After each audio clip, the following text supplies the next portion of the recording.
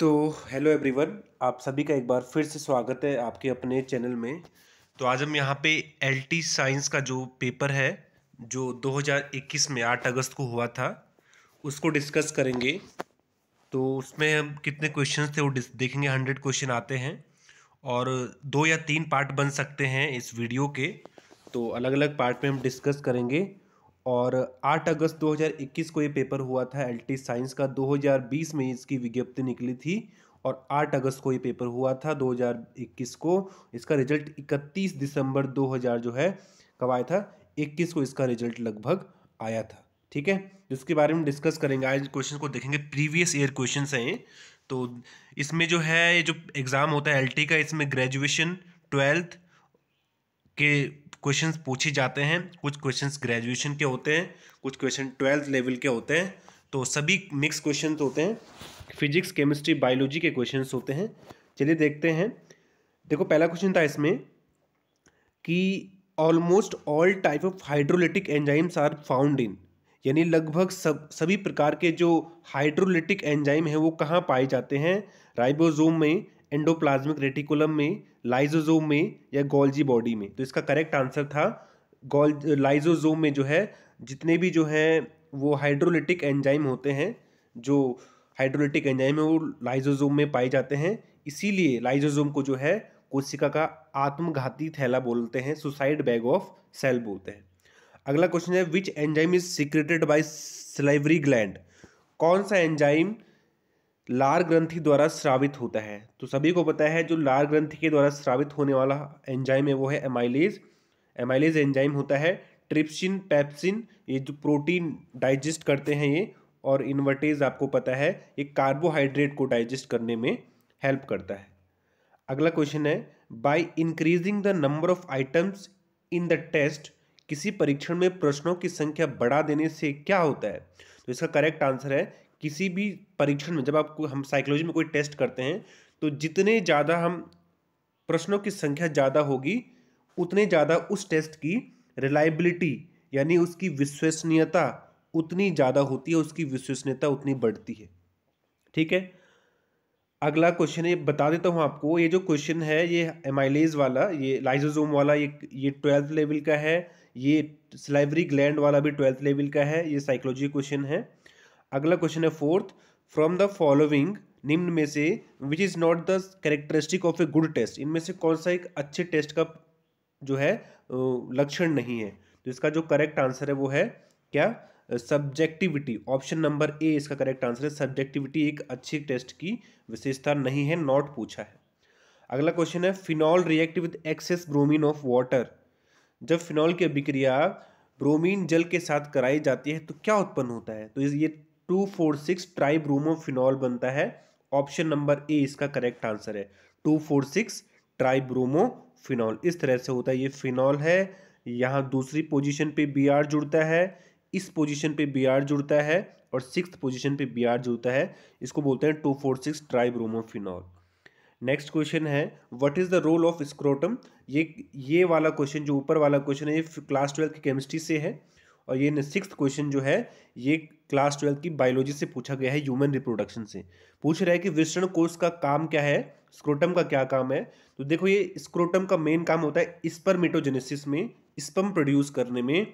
तो इसका काम होता है, ये स्पर्म जो, ये स्पर्मेटोजेनेसिस के दौरान बॉडी टेम्परेचर को बॉडी टेम्परेचर से कम टेम्परेचर पे टेस्टिस जो है, उसका टेम्परेचर रखता है। To maintain the temperature of testis below than body temperature समझ रहे हो? क्वेश्चन नंबर सी सी इसका करेक्ट आंसर है सिक्स का। अगला क्वेश्चन है in which of the following plant heterocyst cells are observed निम्न में से किस किस प्लांट्स में हेट्रोसिस्ट कोशिकाएँ देखी जाती हैं? तो हेट्रोसिस्ट कोशिकाएँ जो हैं, वो नॉस्टॉक में देखी जाती हैं। नॉस्टॉक एक एल्गी होता है, ये सभी एल्गी के एग्ज़ाम्पल हैं। तो नॉस्टॉक एल्गी में हेट्रोसिस्ट कोशिकाएँ देखी जाती हैं। इनका मेन काम होता है नाइट्रोजन फिक्सेशन में इनका मेन काम होता है। ऑप्शन नंबर बी करेक्ट है यहाँ पे। अगला क्वेश्चन है कि the U, Ubisch bodies are found in. Ubisch bodies किसमें पाई जाती हैं? तो उबीज बॉडी जो हो, टेपिटल सेल में पाई जाती हैं। क्लास ट्वेल्थ का क्वेश्चन है और ये ऊपर वाला भी, ये क्लास इलेवेंथ का क्वेश्चन है। ये ग्रेजुएशन लेवल का भी है और क्लास इलेवेंथ में भी है ये नोस्टोक का के बारे में। ट्वेल्थ में भी है बायोलॉजी से पूछा गया है। अगला क्वेश्चन है, ये क्वेश्चन है कि फिनॉल दे रखा है और इसकी reaction C H C L three से करा रखी है और ये बेंजल्डिहाइड बन रहा है, यहाँ पे बेंजल्डिहाइड का फॉर्मूला है। बोल रहा है कि ये किस रिएक्शन इस रिएक्शन का नाम क्या है? तो ये रिमर टीमन रिएक्शन है। क्लास ट्वेल्थ के ऑर्गेनिक केमिस्ट्री से पूछा गया क्वेश्चन है ये। डी करेक्ट है इसका। अगला क्वेश्चन है in psychology to so one self like any other person by the person belong to which defence strategy मनोविज्ञान में व्यक्ति के किसी अन्य व्यक्ति के जैसे अपने को प्रदर्शित करना कौन सी रक्षा युक्ति के अंतर्गत आता है? तो ये जो आता है, ये आता है किसके अंदर? आइडेंटिफिकेशन के अंदर आता है ये। आइडेंटिफिकेशन के अंदर आता है। ठीक है? बी करेक्ट है। अगला क्वेश्चन है, ये साइकोलॉजी से पूछा गया है। नेक्स्ट क्वेश्चन है कि citrus canker disease is caused by which bacteria? Citrus canker disease किस बैक्टीरिया के द्वारा होता है? तो सिट्रस कैंकर डिज़ीज़, ये है, वो जेंथोमोना सिट्राई, एक बैक्टीरियल डिज़ीज़ है, उससे होने वाला ये रोग है, ठीक? नेक्स्ट क्वेश्चन है flowering due to cold treatment is called ये क्लास ट्वेल्थ का क्वेश्चन है क्लास इलेवेंथ का सॉरी बायोलॉजी से पूछा गया क्वेश्चन है कि कोल्ड ट्रीटमेंट के द्वारा पुष्पन पादपों में फ्लावरिंग को क्या कहते हैं? तो इसका आंसर है वर्नेलाइजेशन। ऑप्शन नंबर बी इसका करेक्ट आंसर है। इलेवेंथ के बायोलॉजी से पूछा गया ये क्वेश्चन है, ठीक है? अगला क्वेश्चन है, lichens consist of algae and dash. ये बहुत ही आसान क्वेश्चन है, इसे आप कमेंट में बताएँगे, अगर आप यहाँ तक पहुँच चुके हैं, देख चुके हैं आप तो इसका आंसर आप कमेंट करेंगे कि लाइकिन्स किस किस से मिलकर बना है, एलगी और किस से मिलकर बना है, इसका आंसर आप मुझे कमेंट करेंगे। नेक्स्ट क्वेश्चन है कि the International Rice Research Institute कहाँ पे स्थित है? तो ये फिलीपींस मनीला में स्थित है। ऑप्शन नंबर ई करेक्ट है इसका। नेक्स्ट क्वेश्चन है for the process to occur under adiabatic condition the correct condition is एक प्रक्रम के रिदोष होने के लिए क्या ज़रूरी है? तो रिदोष ये क्लास इलेवेंथ की केमिस्ट्री का क्वेश्चन है थर्मो केमिस्ट्री का क्वेश्चन है ये। तो इसका आंसर है, जब किसी प्रोसेस से हीट हीट का ट्रांजिशन ज़ीरो हो, ना तो हीट अंदर जाए, ना बाहर आ पाए तो ऐसी कंडीशन जो है इडियाबेटिक कंडीशन कहलाती है रिदोष प्रक्रम कहलाता है। ऑप्शन नंबर बी इसका करेक्ट आंसर है। अगला क्वेश्चन है first step of action research is action research में जब हम किसी प्रॉब्लम को सॉल्व करते हैं तो उसको लिए एक्शन रिसर्च किया जाता है। तो उसका पहला पद होता है, किसी भी प्रॉब्लम को, जिस प्रॉब्लम के लिए हम एक्शन रिसर्च करना चाहते हैं, उस प्रॉब्लम को पहचानना। तो ऑप्शन नंबर ए है यहाँ पे करेक्ट आंसर होगा। नेक्स्ट क्वेश्चन है cephalothorax of palaemon consist of यानी जो झींगा है, जो प्रॉन होता है, उसके सिफेलोथ्रॉक्स में कितने सेगमेंट होते हैं? तो ऑप्शन नंबर सी इसका करेक्ट है। थर्टीन सेगमेंट होते हैं। तेरह खंड से मिलकर ये बनता है। अगला क्वेश्चन है the best quality of pearl is obtained from the marine oyster is called सबसे अच्छी गुणवत्ता का मोती जो समुद्री सीपी से मिलता है, उसको क्या बोलते हैं? तो उसे लिंगा पर्ल बोलते हैं। ऑप्शन नंबर बी हमारा करेक्ट है यहाँ पे। नेक्स्ट क्वेश्चन है extrinsic programmed instruction is also known as जो एक्सटेंसिक प्रोग्राम्ड इंस्ट्रक्शन है, उसे किस नाम से जाना जाता है? तो उसे लीनियर प्रोग्राम प्रोग्राम इंस्ट्रक्शन बोलते हैं। ऑप्शन नंबर सी हमारा करेक्ट है यहाँ पे। यानी रेखीय अभिक्रमित अनुदेशन बोलते हैं। ऑप्शन नंबर जो है सी होगा यहाँ पे। नेक्स्ट है the difference of average energy level between substrate and transition state is known as ये क्लास ये ग्रेजुएशन में भी है ये क्वेश्चन और क्लास ट्वेल्थ की केमिस्ट्री में भी है। इसका आंसर है एक्टिवेशन एनर्जी, सक्रियण ऊर्जा।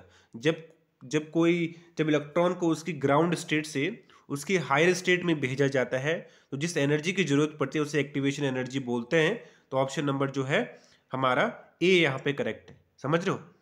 अगला क्वेश्चन है how many subtests tests are there in Bhatia battery general intelligence test Bhatia battery सामान्य बुद्धि परीक्षण में कितने उप परीक्षण हैं, ये बताओ। इसका आंसर आप मुझे कमेंट करके बताओ। मैंने ट्राई किया इसको ढूँढने का, लेकिन मुझे मिला नहीं। आप मुझे ट्वेंटी वन का कॉमेंट करके बताओ। नेक्स्ट क्वेश्चन है कि according to Jean प्याजे the period of concrete operational stage Jean प्याजे की संज्ञानात्मक विकास की मूर्त संज्ञानात्मक अवस्था कौन सी है? तो आपको पता है, जीन प्याजे ने कई अवस्थाएँ बताई हैं बाल विकास की, जिसका करेक्ट आंसर यहाँ पे सात से बारह वर्ष की अवस्था को उसने कॉन्क्रीट ऑपरेशनल स्टेज कहा है। नेक्स्ट है कि team teaching is developed by जो टीम टीचिंग है वो किसके द्वारा डेवलप्ड की गई है? तो समूह शिक्षण का विकास जो है, वो जेफरी मैन के द्वारा किया गया है। ऑप्शन नंबर डी हमारा यहाँ पे करेक्ट आंसर है। अगला है oxidation of Tollens reagent is use for detecting जो टोलेन अभिकर्म है, उसका उपयोग किसमें करते हैं? किसके परीक्षण में करते हैं? तो क्लास ट्वेल्थ की केमिस्ट्री का क्वेश्चन है ये। इसका आंसर है एल्डिहाइड के परीक्षण के लिए। ऑप्शन नंबर सी एल्डिहाइड के लिए। नेक्स्ट क्वेश्चन है कि among the following oxide which one is not acidic तो मेट जो मेटल के ऑक्साइड होते हैं, वो बेसिक नेचर के होते हैं। इसलिए इसका आंसर है Na2 होगा, क्योंकि सोडियम एक मेटल वाला, एक मेटेलिक एलिमेंट होता है तो ऑप्शन नंबर बी है, कौन सा अम्लीय नहीं है, कौन सा ऑक्साइड तो सोडियम बी करेक्ट है। माइटोकॉन्ड्रियल मैट्रिक्स पोजेस माइटोकॉन्ड्रिया जो मैट्रिक्स होता है, उसमें क्या क्या होता है? देखो माइटोकॉन्ड्रिया जो है, एक ऐसा जो है सेल ऑर्गेनेली है, जिसमें अपने सब कुछ, वो सेल्फ रिफ्लिकेट करता है प्रोटीन सिंथेसिस की, खुद की क्षमता होती है इसकी। इसलिए ऑल ऑफ़ द एबव होगा। आप मुझे कमेंट में बताओ माइटोकॉन्ड्रिया के अलावा सेल के किस अंग में कौन से सेल ऑर्गेनेली में खुद वो अपना प्रोटीन सिंथेसिस करता है, खुद रिप्लिकेट करता है, खुद का डीएनए होता है, वो आप मुझे कमेंट करके बताओ माइटोकॉन्ड्रिया के अलावा। नेक्स्ट है how many fundamental vibration found in CO two molecule CO two molecule में कितने फंडामेंटल वाइब्रेशन होते हैं? नेक्स्ट है ट्वेंटी एट की the knowledge of individual differences belong to which category of teacher quality व्यक्तिगत भिन्नता का ज्ञान, शिक्षण का गुण निम्न में से किससे संबंधित है? तो इसका आंसर है, क्योंकि ये इंडिविजुअल डिफरेंसेस होते हैं तो प्रोफेशनल क्वालिटी है ये किसी टीचर की, उसकी व्यक्तिगत गुण है ये, व्यवसायिक गुण है सॉरी ठीक है? अगला है the sequence of nitrogen base present in DNA but not in mRNA ऐसे नाइट्रोजन बेस जो डीएनए में तो होते हैं, किंतु एमआरएनए में नहीं होते, उनको हम बोलते हैं इंट्रॉन्स। क्या बोलते हैं? इंट्रॉन्स बोलते हैं, ऑप्शन नंबर बी ये यहाँ पर सही है। अगला है, seeds swell when placed in water because बीजों को पानी में रखने पर वो फूल जाते हैं। ऐसा बाई इम्बिबिशन के कारण होता है अंत चूषण के कारण होता है। ये क्लास जो है, इलेवेंथ की बायोलॉजी का क्वेश्चन है ये। ठीक है? ये भी इलेवेंथ की बायोलॉजी का क्वेश्चन है, ट्वेल्थ की बायोलॉजी का, सॉरी। जहाँ पे डीएनए के बारे में बता रखा है, ट्वेल्थ की बायोलॉजी का। नेक्स्ट है कि the insectivorous plant from the following is plant निम्न में से कौन सा इंसेक्टिवोरस प्लांट है? तो इसका आंसर है ड्रोसेरा ऑप्शन नंबर बी हमारा करेक्ट है यहाँ पे। कीट भक्षी पौधा ड्रोसेरा होता है। ये क्लास ट्वेल्थ की बायोलॉजी से पूछा गया क्वेश्चन है इकोसिस्टम वाले चैप्टर से। अगला क्वेश्चन है the number of M M metal metal bond in the following compound respectively इनमें से एम एम बॉन्ड कितने हैं? तो इसका आंसर है one three three one comma three comma three अगला है who has propounded the theory of connectionism संबंधवाद का सिद्धांत जो है, वो थॉर्नाइक ने दिया था ऑप्शन नंबर डी हमारा यहाँ पे करेक्ट है. नेक्स्ट है which one is not a type of mental emotions of the child according to Bruner Bruner के अनुसार बालक की मानसिक अनुभूतियों का तरीका कौन सा नहीं है? तो ब्रूनर ने बताया था कि कॉन्क्रीट ऑपरेशनल स्टेज बालक की जो है, मानसिक उसका तरीका नहीं है।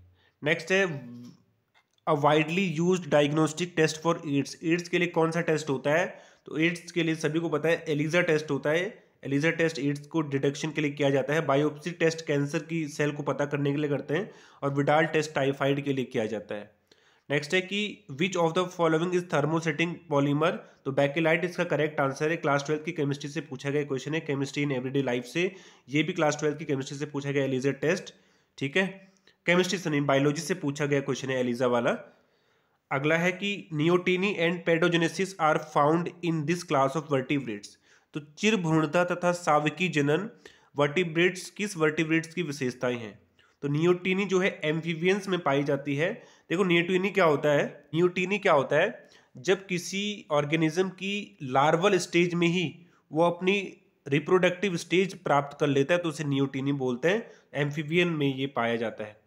The scalogram method of attitude measurement was propagated by तो जो स्केलोग्राम मेज़रमेंट है, वो किसके द्वारा जो है प्रोपोगेट किया गया तो इसका आंसर लिंकट होगा। अगर मैं सही हूँ तो मेरे हिसाब से लिंकट होगा। अगर कोई और है तो आप मुझे कमेंट करके बताओ कि क्या होना चाहिए। लिंकट होना चाहिए इसका शायद। अगला है the living fossils found in gymnosperm plant is gymnosperm में जो जीवित जीवाश्म है, वो जिंकेगो को बोलते हैं तो ऑप्शन नंबर डी ठीक है? Heterospory is found in heterospory किसमें मिलती है? स्लेजिनीला में हेट्रोस्पोरी मिलती है। हेट्रोस्पोरी का मतलब जिसमें दो तरीके के स्पोर बनते हैं, एक माइक्रोस्पोर एक मेगा स्पोर तो ऑप्शन नंबर बी इसका करेक्ट है, स्लेजिनीला में।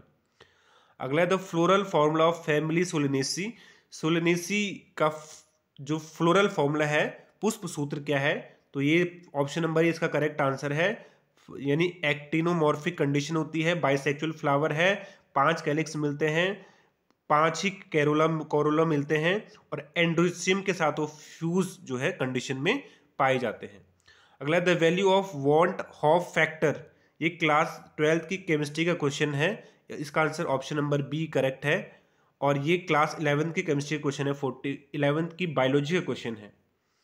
अगला है which among the following is a hereditary disease इनमें से आनुवांशिक बीमारी कौन सी है? तो आनुवांशिक बीमारी हीमोफीलिया है। ऑप्शन नंबर ए इसका करेक्ट आंसर होगा। आनुवांशिक बीमारी। सॉरी नेक्स्ट है by whom the sixteen P F questionnaires personality is made up of यानी व्यक्तित्व मापन उपकरण सिक्सटीन पी एफ़ जो प्रश्नावली का निर्माण किसने किया? तो ये निर्माण किया था रेमंड कैटल ने, यानी आर बी कैटल ने option number D in urea cycle arginine breaks into urea cycle में जिसमें जो वेस्ट मटेरियल होता है नाइट्रोजनस बेस वो बाहर निकलता है ह्यूमन बॉडी से किसी भी जीव से। तो जो इसी तो जो यूरिया साइकिल में जो आर्जिनिन होता है, वो आर्जिनिन एंड सिट्रिलिन में जो है टूटता है ऑप्शन नंबर सी यहाँ पे करेक्ट हो जाएगा ऑप्शन नंबर सी अगला है example of parasite algae parasite algae का एग्ज़ाम्पल क्या है? परजीवी एल्गी तो सिपेलोरोस, जो सिपेलोरोज है वो एक पैरासाइट एल्गी होता है ऑप्शन नंबर बी अगला aflatoxin is produced by the fungus aflatoxin किससे प्राप्त होता है? तो एस्परजिलिस से प्राप्त किया जाता है। नेक्स्ट है कि milky disease is related to जो दूधिया रोग है, वो किसके द्वारा होता है? तो ये बैक्टीरियल डिज़ीज़ है, जो कि बैसिलस पोपिलाई से होता है। ऑप्शन नंबर बी हमारा करेक्ट आंसर है। और बैसिलस पोपिलाई से।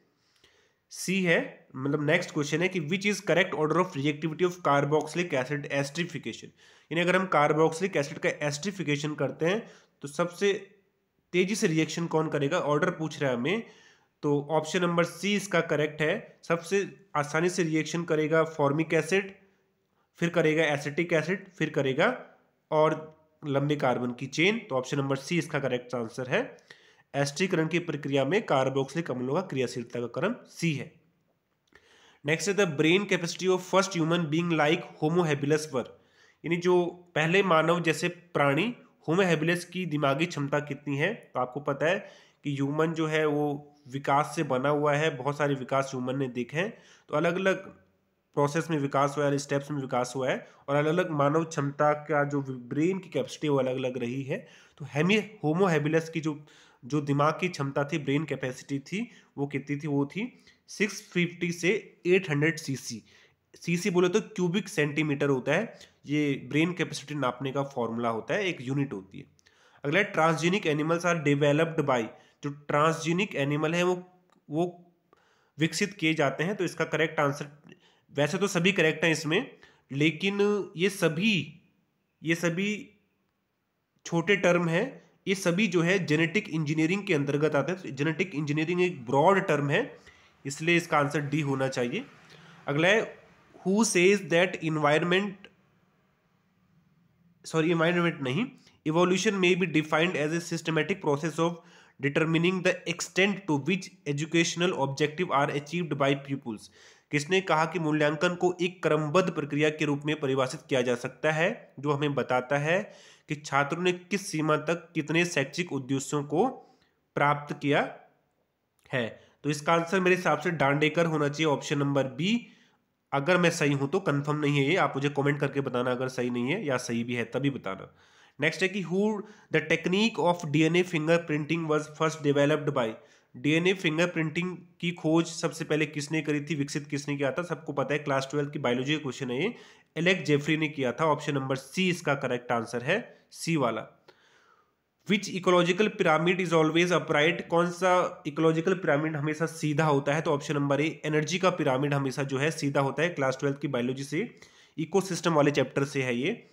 नेक्स्ट है कि the bond angle in N S three molecule is N S three molecule में जो बॉन्ड एंगल होता है, वो 107 डिग्री और पाँच मिनट का होता है। पाँच तो ऑप्शन नंबर ए इसका करेक्ट आंसर है। नेक्स्ट है, ये भी क्लास इलेवेंथ या ट्वेल्थ की केमिस्ट्री से पूछा गया है ये। ट्वेल्थ की केमिस्ट्री से होगा बॉन्ड एंगल वहाँ पे है इलेवेंथ में भी है। ट्रांसजेनिक एलिमेंट बिलोंग टू तो ऑप्शन है इसका डी ब्लॉक में, जो संक्रमण तत्व तो होते हैं, वो डी ब्लॉक से संबंधित होते हैं। बहुत ही आसान क्वेश्चन है ये। ऑप्शन नंबर ए इसका करेक्ट है। क्लास ट्वेल्थ की केमिस्ट्री से पूछा गया है पॉलिनेशन बाई स्नेल्स घोंगे के द्वारा पराकरण को क्या बोलते हैं? तो इसका आंसर है मेलिकोफिल्ली। ऑप्शन नंबर जो है सी करेक्ट आंसर है। एनिमोफिली बोलते हैं, हवा के द्वारा पराकण को, हाइड्रोफिली बोलते हैं, पानी के द्वारा पराकण को, और चिरिप्टोफिली बोलते हैं, चमगादड़ यानी बैट्स के द्वारा पराकण को। अगला है कि ये कोई आर है एल्केन ग्रुप है, इसका रिडक्शन हो रहा है लिथियम एल की प्रेजेंस में। तो बोल रहा है क्या बनेगा? तो क्लास ट्वेल्थ की केमिस्ट्री का, ये क्लास इलेवेंथ की केमिस्ट्री का क्वेश्चन है। तो जो जो प्रोडक्ट बनेगा वो ऑप्शन नंबर बी है। अगला है कि horseshoe shaped embryo sac is present in the following ovule तो जो घोड़े की नाल के आकार का एंडोस्पर्म किसमें मिलता है? तो वो मिलता है किसमें? वो मिलता है एम्फीट्रोपस उसको एम्फीट्रोपस बोलते हैं ऑप्शन नंबर ए नेक्स्ट है the correct sequence of heuristic method terms heuristic विधि के पदों का सही क्रम क्या होता है? तो यूरिस्टिक विधि के सही क्रम जो होता है, सबसे पहले क्या होता है? तो ऑप्शन नंबर जो है बी इसका करेक्ट है, सब बी सही है इसका आंसर। नेक्स्ट है the addition of gypsum to Portland cement ये क्लास इलेवेंथ की केमिस्ट्री क्वेश्चन है। इसका आंसर है ऑप्शन नंबर डी यानी कि जिप्सम ऐड किया जाता है सीमेंट में। सीमेंट को शीघ्र जमने से रोकने के लिए उसमें जिप्सम ऐड किया जाता है। केमिस्ट्री का क्वेश्चन है इलेवेंथ क्लास की। Equation of velocity for first order reaction प्रथम कोटि की अभिक्रिया के लिए वेग समीकरण होता है। क्लास ट्वेल्थ की केमिस्ट्री क्वेश्चन है। इसका आंसर है option number C k is equal to two point three zero three upon t log initial concentration upon final concentration option number C इसका करेक्ट है। क्लास ट्वेल्थ की chemistry से पूछा गया है। नेक्स्ट क्वेश्चन है कि excess amount of urea in blood is known as blood में एक्स, एक्स, एक्स्ट्रा या एक्सेस अमाउंट ऑफ़ यूरिया को यूरेमिया बोलते हैं। नेक्स्ट है which of the following is lyophilic colloid इनमें से लायोफ्लिक कोलाइड कौन सा है? ये भी बड़ा विवाद वाला क्वेश्चन था तो फ़िलहाल इसका आंसर डी करेक्ट मानते हैं। डी इसका करेक्ट आंसर है। अगला है tylosis are found in tylosis किसमें पाए जाते हैं? तो जो हार्डवुड होती है option number B option number B अंत कास्ट में वो टाइलोसिस पाई जाती है। अगला है evolution is related to which phase of teaching मूल्यांकन किस शिक्षण फ़ेज़ में होता है? तो मूल्यांकन हमेशा तभी होता है जब हम सब कुछ पढ़ा पुढ़ा लेते हैं, तब मूल्यांकन होता है किसी चीज़ का। तो इसका करेक्ट आंसर है C post active phase of teaching, यानी पढ़ाने के बाद हम मूल्यांकन करते हैं बच्चों का तो ऑप्शन सी है। करेक्ट नेम ऑफ़ एच, इस, ये फॉर्मूला दे रखा है, क्लास ट्वेल्थ की केमिस्ट्री केमिस्ट्री का क्वेश्चन है ये, नेमिंग का, कोऑर्डिनेशन कंपाउंड से। इसका correct answer option number C, hydrogen hydrogen tetrachlorido aurate third, ये गोल्ड है तो ऑप्शन नंबर सी इसका करेक्ट आंसर है। ठीक है, नेक्स्ट क्वेश्चन है, what will be the electromotive force of following cell at zero degree Celsius? Correct answer है। ठीक है नेक्स्ट क्वेश्चन है। According to right to education act 2009 seats are reserved for children of economically and socially disadvantage group of society in the private schools शिक्षा का अधिकार अधिनियम के अनुसार आर्थिक व सामाजिक रूप से पिछड़े वर्ग के लिए कितने परसेंट सीटें बच्चों के लिए सुरक्षित होती हैं? तो बच्चे बच्चे को बताए इसका आंसर और पच्चीस परसेंट सीटें ठीक है? Two genes which propagate themselves ऐसे जीन जो केवल अपना प्रसार करते हैं और जंतु जो कि उन जीन्स का वाक हो, उसके लिए हानिकारक भी होते हैं। ऐसे जीवों को सेल्फिश जीन बोलते हैं, जो सिर्फ़ वाहक होते हैं और उनके लिए हानिकारक भी होते हैं। ऐसे जीनों को स्वार्थी जीन कहा जाता है। नेक्स्ट है which of the following fat soluble vitamin वसा में घुलनशील विटामिन नहीं है नॉट नहीं है। तो देखो विटामिन बी और विटामिन सी जल में सोल्यूबल होते हैं। यहाँ पे नहीं पूछा है तो ऑप्शन नंबर सी हमारा करेक्ट है। नेक्स्ट क्वेश्चन है the space between the inner and outer nuclear membrane membrane is directly connected to the lumen of जो केंद्रक झिल्लियों के मध्य की जगह का सीधा जुड़ाव इस झिल्ली की मध्य से गुहा से होता है। इसका आंसर है endoplasmic reticulum option number B biology का क्वेश्चन है ये। नेक्स्ट है which of the following is composition of copper matte copper matte किसका जो है कॉम्पोजिशन होता है, इसका कमेंट आप मुझे करके बताओगे, और सेवेंटी थ्री का, इसमें मैं श्योर नहीं हूँ। अगला क्वेश्चन है people who can not directly express their anger ऐसे व्यक्ति जो सीधे अपने क्रोध को अभिव्यक्त नहीं कर पाते, उनको हम जो पर्सनैलिटी का जो वो है क्लासिफिकेशन उसे एस्थेनिक कैटेगरी में रखते हैं। किसने ये दिया था, ये वाला क्लासिफिकेशन मैं नाम भूल रहा हूँ। आपको याद आए तो बताना नीचे। Learning curve represented by the following graph learning curve के द्वारा क्या बताया जा सकता है? तो सभी कुछ बताया जा सकता है। प्रोग्रेस बताई जा सकती है। लर्निंग की रेट बताया जा सकता है। रेट ऑफ़ फॉरगेटिंग भूला कितना कितना याद है, कितनी स्पीड से बच्चा लर्न कर रहा है, वो बताया जा सकता है। ऑल ऑफ़ दी अबव होगा इसका। नेक्स्ट क्वेश्चन है according to N C F दो हज़ार पाँच इंग्लिश सब्जेक्ट को पढ़ाना कब से ज़रूरी है? तो इंग्लिश सब्जेक्ट को पढ़ाना एनसीएफ के अनुसार कक्षा एक से ज़रूरी होता है। अगला क्वेश्चन है a concept learned by a student in history class is used by him in hindi class. This is example of एक विद्यार्थी के द्वारा इतिहास की कक्षा में सीखी गई अवधारणा का उपयोग हिंदी कक्षा में किया जाता है। ये किसका उदाहरण है? ये या तो बायोलेटरल ट्रांसफ़र होगा या पॉजिटिव ट्रांसफ़र होगा। तो मेरे हिसाब से पॉजिटिव ट्रांसफ़र होना चाहिए इसका आंसर ऑप्शन नंबर डी इसका करेक्ट आंसर है। बाकी आप देख लेना। अगर सही आंसर आता हो तो नीचे कमेंट भी करना। नेक्स्ट क्वेश्चन है comes under the acquired motives are अर्जित अभिप्रेरकों को किसके अंतर्गत रखा जाता है? तो जो एक्वायर्ड जो मोटिव्स होते हैं, जो अर्जित अभिप्रेरक होते हैं, वो सहयोग की भावना और कंपटीशन की भावना, यानी सहयोग और प्रतिस्पर्धा की भावना जो है, वो एक्वायर्ड मोटिव्स होते हैं, जिन्हें हम खुद से सीखते हैं, खुद ये हमारे अंदर पहले से मौजूद नहीं होती। अगला है in which teaching method the new rules और principles are derived from examples किस शिक्षण विधि में उदाहरणों के माध्यम से नए नियम या सिद्धांत निकाले जाते हैं? तो ऑप्शन नंबर इसका सी करेक्ट है। इंडक्टिव मेथड में ऐसा होता है। अगला है spikelet spikelet inflorescence occur in the family जो स्पाइकलेट पुष्पक्रम है, वो किसमें पाया जाता है? तो वो पाया जाता है पोएसी फैमिली में ऑप्शन सी इसका करेक्ट आंसर है। सी वाला सही है इसका। सी देखो सी